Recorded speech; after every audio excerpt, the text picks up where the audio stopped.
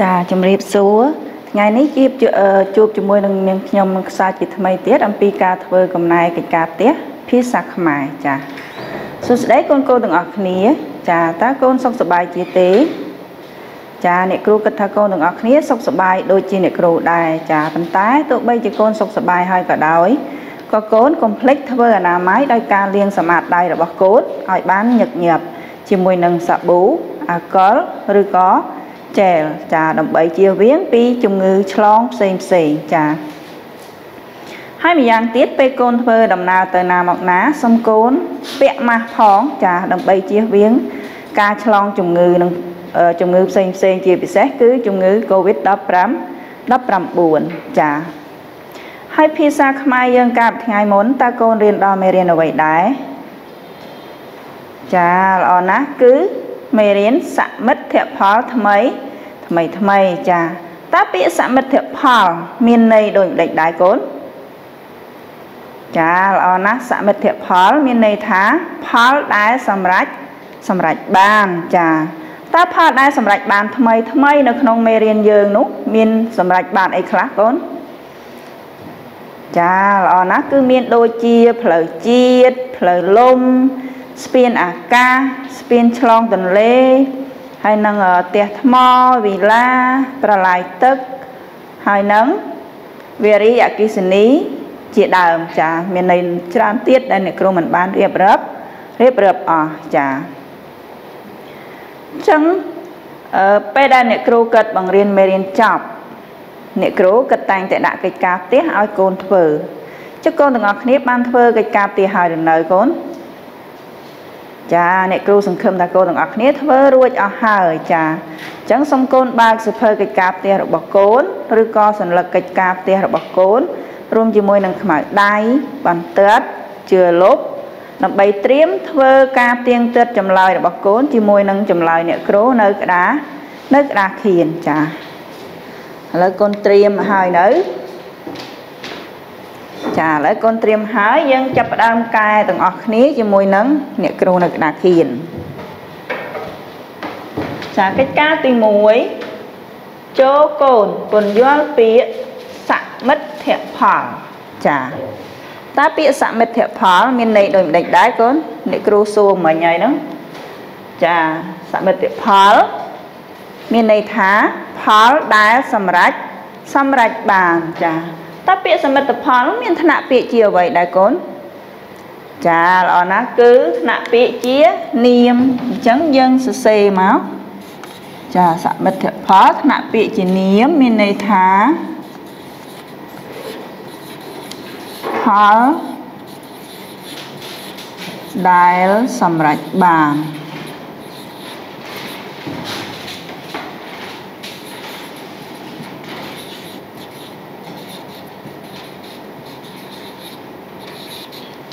ចាសមិទ្ធផលមានន័យថា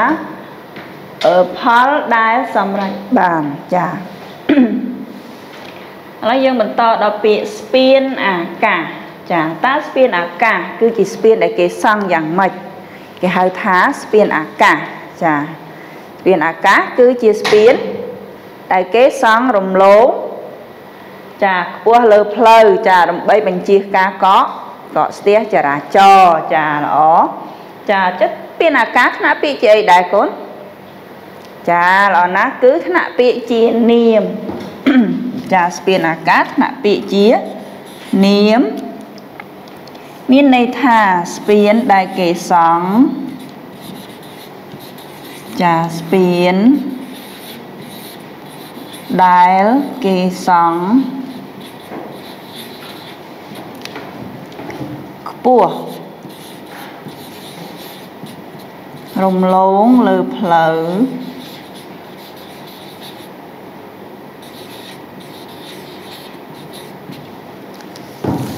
លើផ្លូវដើម្បីបញ្ជាដើម្បីបញ្ជា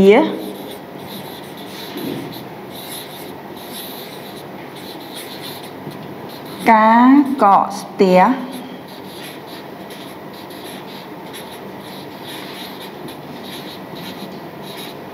ការកកស្ទះ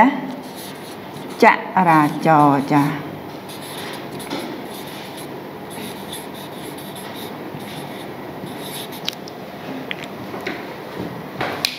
ចាស្ពានអាកាសថ្នាក់ពាក្យជានាម មានន័យថាស្ពានដែលគេ ដែលគេសង់ខ្ពស់ចាសង់ភ្លេចងោកូនបន្ថែមងោអានម្ដងទៀតស្ពានអាកាសថ្នាក់ពាក្យជានាម មានន័យថាស្ពានដែលគេសង់ខ្ពស់រំលងលើផ្លូវដើម្បីបញ្ជាការកកស្ទះចរាចរណ៍ចា៎អញ្ចឹងគុណបានផ្ទៀងកិច្ចការទី1រួចហើយអញ្ចឹងយើងបន្តដល់កិច្ចការទី2ចាកិច្ចការទី2ចូលកូនរោគពាកមកបំពេញវគ្គមេសូតខាងក្រោមរួចសូតចាចាកិច្ចការទី2គឺឲ្យកូនបំពេញរោគពាកមកបំពេញវគ្គមេសូតដែលអ្នកគ្រូចន្លោះទុកឲ្យចាកាលណាកូនបំពេញរួចហើយ គឺកូនសូត្រឡើងវិញចាឥឡូវយើងចាប់ផ្ដើម រីស្ពានចាស្ពានអីគេអត់ទាន់ដឹងទេភ្លើងពើដេដាតាមដងចាតាមដងស្ពានឆ្លងចាដឹងឆ្លងអីបានសាងសង់ថ្មីវិមានស្កឹមស្កាយឈ្មោះចាឈ្មោះអីគេអគិសនីដើរដោយចាដើរដោយអីគេរាយដល់រាយដល់អីគេចាសួន សួនអីដែរចាប្រឡាយទឹកព្រៀបតំបន់ទំនាបស្រូវស្រែចាដឹងថាស្រូវស្រែយ៉ាងម៉េចអញ្ចឹងយើងចាប់ដើមគិតជាមួយនឹងអ្នកគ្រូហើយបំពេញជាមួយអ្នកគ្រូចារីស្ពានស្ពានអីគេចាល្អណាស់គឺស្ពានអាកាចាអញ្ចឹងយើងបំពេញដោយពាក្យអាកា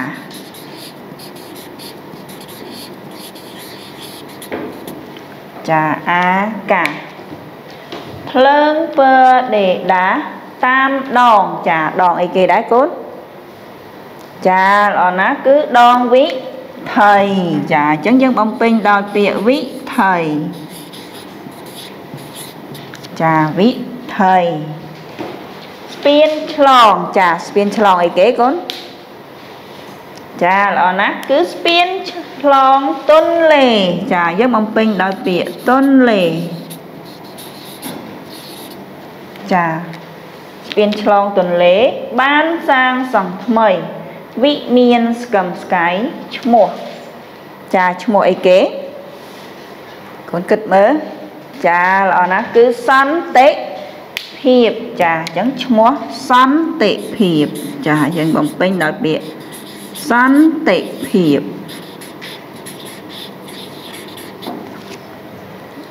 ចាអគិសនីដើរដោយចាដើរដោយអីគេដែរកូនចាល្អណាស់គឺដើរដោយវារីចាដើរដោយវារីដើរដោយវារីរាយដល់រាយដល់អី ចាល្អណាស់គឺរាយដល់វាលរៀបចារាយដល់វាលរៀបយើងបំពេញវាលរៀប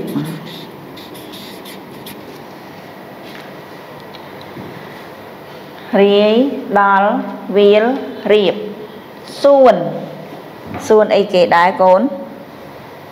ចាល្អណាស់សួនកសិដ្ឋាន អញ្ចឹងយើងបំពេញដោយពាក្យកសិដ្ឋាន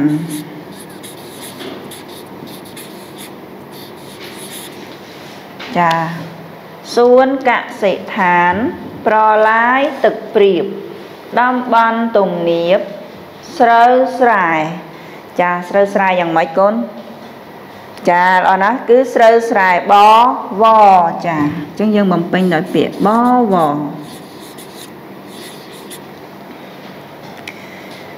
ចាឥឡូវយើង បានបំពេញរួចរាល់អស់ហើយអញ្ចឹងយើង ចាប់ដើមសូត្រឡើងវិញទាំងអស់គ្នាជាមួយនឹងអ្នកគ្រូចាចារីស្ពានអាកាសភ្លើងពើដេដាំតាមដងវិថីស្ពានឆ្លងទន្លេបានសាងសង់ថ្មី វិមានស្កឹមស្កៃឈ្មោះសន្តិភាពអគិសនីដើរដោយវារីរាយដល់វាលរៀបសួនកសិដ្ឋានប្រឡាយទឹកព្រៀបតំបន់ទំនាបស្រូវស្រែបវចា ចាឥឡូវកូនបានសូត្រជាមួយអ្នកគ្រូរួចរាល់ហើយហើយក៏បានទៀងកិច្ចការទី2ជាមួយនឹងអ្នកគ្រូរួចរាល់ដែរអញ្ចឹងយើងបន្តដល់កិច្ចការទី3ចាកិច្ចការទី3ចូលកូនសូត្រអត្ថបទមេសូត្រឡើងវិញ រួចឆ្លើយសំណួរចាចូលកូនសូត្រអត្ថបទមេសូត្រឡើងវិញ រួចឆ្លើយសំសំណួរចាឥឡូវមិញកូនបានសូត្រជាមួយនឹងអ្នកគ្រូរួចហើយ អញ្ចឹងយើងឆ្លើយសំណួរបន្តតាសំណួរកតើអ្នកកសាងស្នាដៃថ្មីថ្មី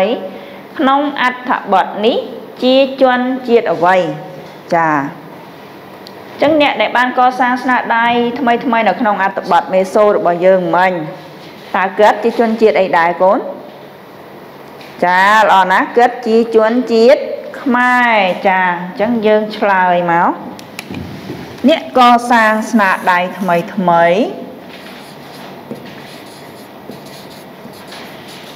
ចាអ្នកកសាង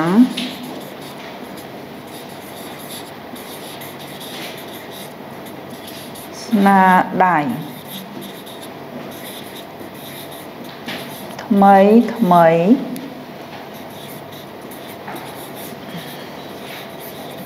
ក្នុង អត្ថបទនេះ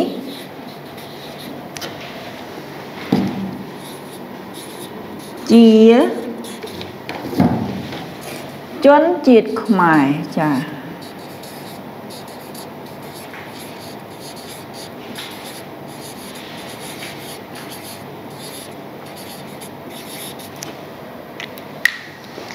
ចារួចហើយកូនអានចម្លើយឡើងវិញម្ដងទៀត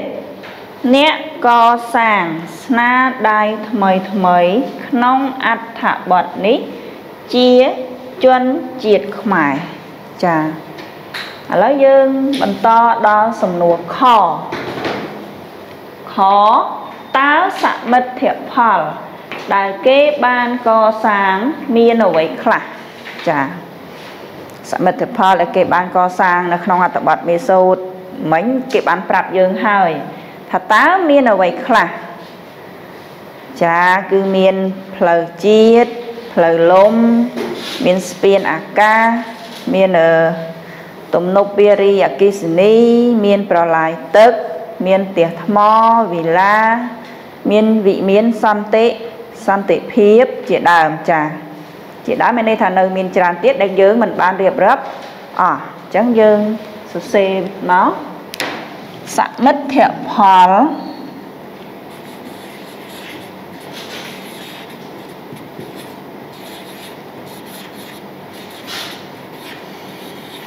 សមិទ្ធផល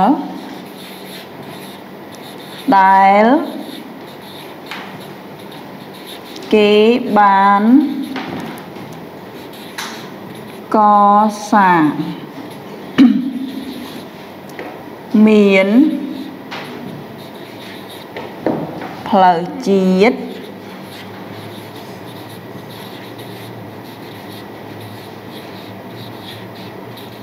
ផ្លូវជាតិចាផ្លូវលំ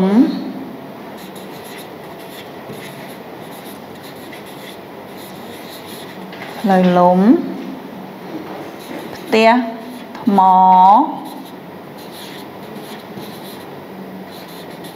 វិឡា កាស្ពានអាកាស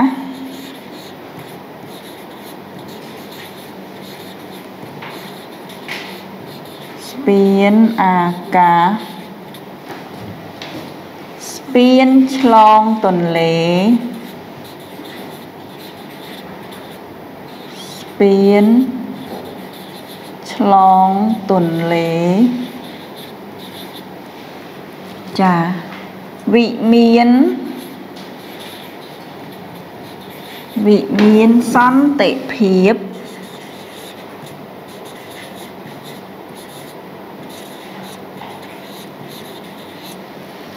ចាវារីអកិសនី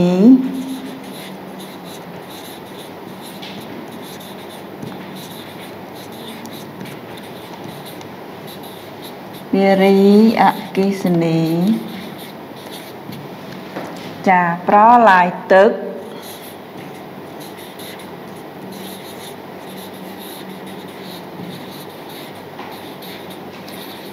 ប្រឡាយទឹកចា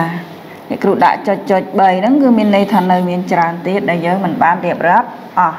ចាឥឡូវកូនអានចម្លើយខជាមួយជាមួយនឹងអ្នកគ្រូម្ដងទៀត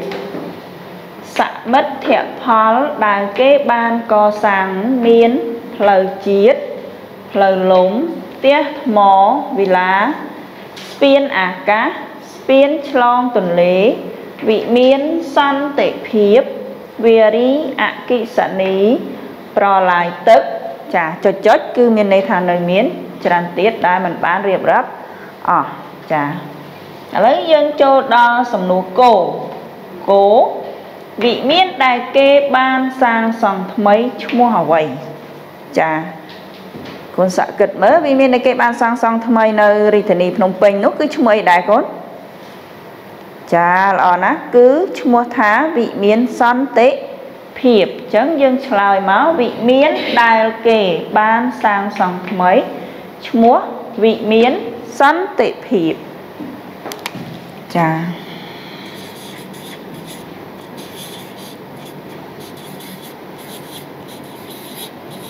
វិមានដែលគេបាន សាងសង់ថ្មីឈ្មោះថាវិមាន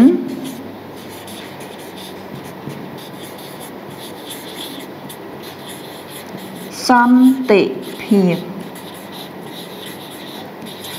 ចាវិមានសន្តិភាព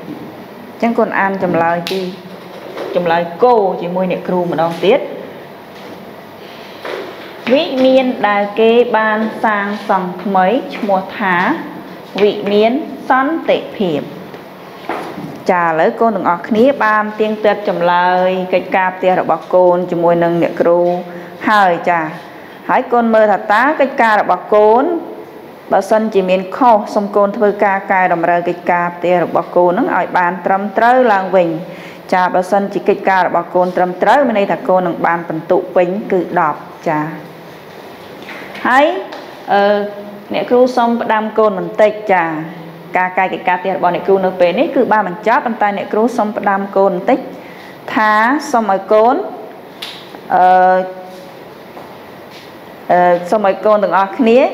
ចេះជួយថែរក្សាសមិទ្ធផលថ្មីថ្មីដែលគេបានបង្កើតឡើងនោះឲ្យបាននៅគង់វង្សយូរអង្